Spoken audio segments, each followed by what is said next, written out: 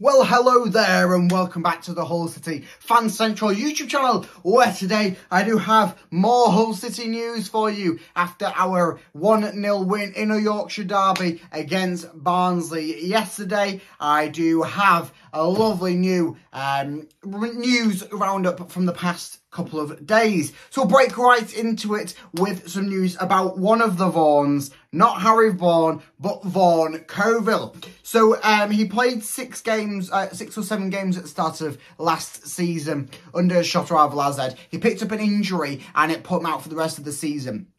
He's not really had too much game time under Liam Rosenior, especially in this pre-season. Um, so, um, notice have been coming out that Shelbourne, Hull City's partners, have actually looked into possibly signing the Hull City youngster um, on for a loan deal of maybe six months to a full season. So that one's uh, up in the air at the moment, a half season or a full season loan, or possibly no loan. Uh, personally, I do think that it'll probably be best for him to go on uh, maybe a half season loan loan up until January. Um, I think that'll be the best for him and also Shelbourne.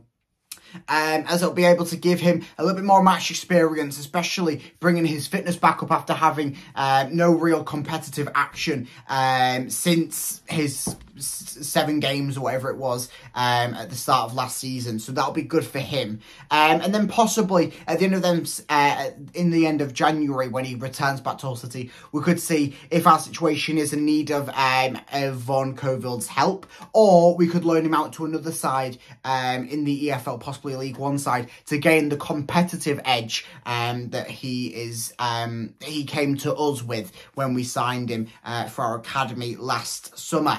So that I think will be probably the best scenario for him, unless Liam Rosenior is planning on including him straight into the Hull City lineup, or possibly shoving him down into the under 21s to gain his match fitness and match experience there. That could be a, another possibility. Right, uh, this one's coming out from um, Newcastle, a little bit of an update on that Karl Darlow deal that fell through. So this is coming from Magpie247 on Twitter. Uh, Newcastle's refusal to lower their asking price for Karl Darlow led to a collapse of proposal of transfers to both Hull City and Middlesbrough, so both of us have been knocked out of the running. Bournemouth and Leeds both remain interested, but Newcastle have maintained that they won't be shifting their demands of a very reasonable, what they say, £5 million. Uh, pounds. Hull's boss Liam Rosenior uh, said on Karl Darlow, I don't think Karl is someone that will be joining us. Karl is someone I've loved working with. He's an outstanding goalkeeper, but the price that Newcastle are speaking about is something that we can't do this summer. I'm disappointed, but that's football. And then Karl Darlow has also got two years left on his Newcastle contract. So whether he sees that out at Newcastle or moves this summer, that remains to be seen. He did start, he did play some minutes yesterday, I saw on Instagram, um, in Newcastle's win over Rangers at the, um, up up in Scotland. So whether that's something that possibly is just to keep his fitness up, or whether Newcastle are sort of like now closing off doors on deals to keep him for another half season season. That remains to be seen. So, possibly Karl Darlow an investment for the future for Hull City, judging by Liam Rosenior's words. Um, a little bit of transfer news coming out of the academy. Jake Leake has joined League Two side Tranmere Rovers on a season-long loan. Um, the new defender has also signed a new contract with Hull City. Um, so best of luck to Jake. Um, I know that he has appeared a few times in pre-season for Hull City, and he's done quite a good job. Um, I've been um, impressed with what I've seen from him. So best luck to him. Um, this is coming out from yesterday's game where George Cox was officially announced on the team sheet, but he did adopt the number 12 rather than number 3. Um, and Lewis Railton one put out on Twitter um, that this could possibly mean that Ruben Vinagre could be taking the number 3 at Hull City. Obviously, number 3 has become available since Callum Elder's departure um, towards the end of last season. Duh. Um, this is coming from Baz Cooper. Baz Cooper, big reliable source for Hull City News on Twitter. Um, I believe that he is the uh, representative of Hull City um, for Hull Daily Mail. I believe so. Uh, so someone's asked him if there's any news on Vinagre, because obviously, I mean, we've had Jason Lokilo come in, and Vinagre was rumoured um, to have been done years before Jason Lokilo was even thought about as a Hull City target.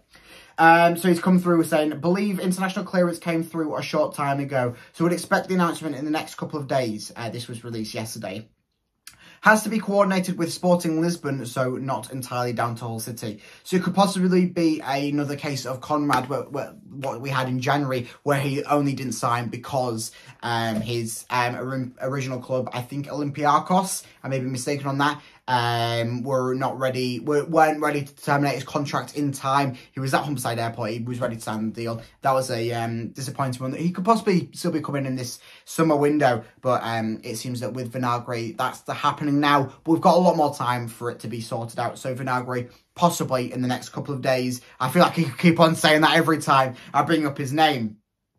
Do do do. The under 21s yesterday, they won as well. A 5-1 win against Bridlington Town. Um, goals coming from um, Hall, Pallet and Lecce, and then a brace coming from Trialist A. Obviously, um, the uh, under 21s have had a lot of the trialists coming through, so they're starting to name them Trialist A through to like H. I think in the in one of the games I had a, a full list of trialists, and people were saying like, "Oh, this uh, this guy called Trialist has been having a lot of kids." Um, yeah, it's a it's a funny little joke that.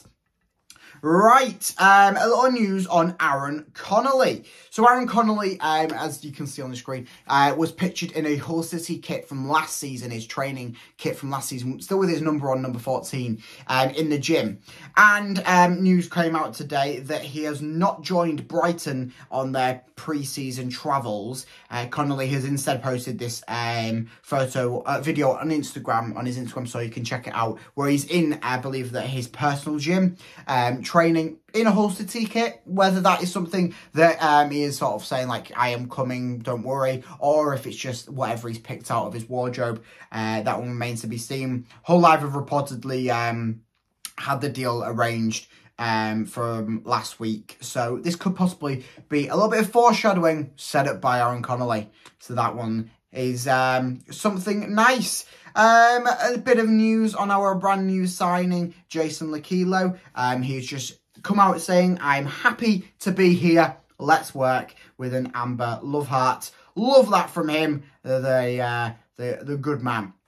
Um, I thought I'd bring you this um, chant that someone's brought whilst we're on Jason Lokilo. Um, so someone on, on Twitter, I think it's one probably one of the better chants we've seen from Twitter. Um, so I'll do a little rendition now. Wake me up before you go, go. Who needs Keener when you've got Lokilo? Yeah, it's okay. I mean, it probably will uh, become the chant for Jason Lokilo, who does join us on a two-year deal with that extra option. Um, a bit of news coming out from um, Acun Ilicali, who um, sort of just brought out a nice little message rounding off the season, um, pre-season tour in Turkey. Um, he put out a nice video, um, so you can check that one on his socials. But here's his little message he put out. My team's trip to Turkey last week was special for me.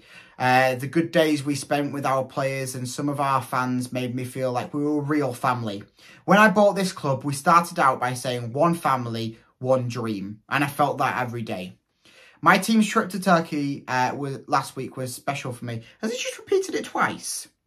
He's repeated it twice. Oh no, I see what's happened here. I've translated the tweet, but then he also put the English underneath. So I've translated the English into English, but also the Turkish into English. So I've got the same.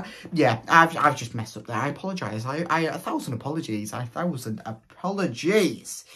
Yeah. So um it's all it's all uh, it's all good news coming out of the Hull City camp. I think. Um, obviously, we'd like to see some of these deals come actually into fruition that we've been rumoured with. Um, it seems that Ruben Vinagre is possibly the next one that will be announced. Um, whether that be before Bradford on Saturday, who knows? Um, but it could be a case of Jason Lokilo um, actually playing um, against Bradford on Saturday. He didn't play yesterday. I presume that was just because the deal's just come through. He wants to see how the team pan out. So yes, that's it for this video. Make sure you like and subscribe so we'll have plenty more news and content coming out and maybe a few extra spicy videos, but not spicy like that, but yeah. Um, so yes, I'll catch you over there. Make sure you like and subscribe. You don't miss any of that because who needs Kano when you got Lucky Low?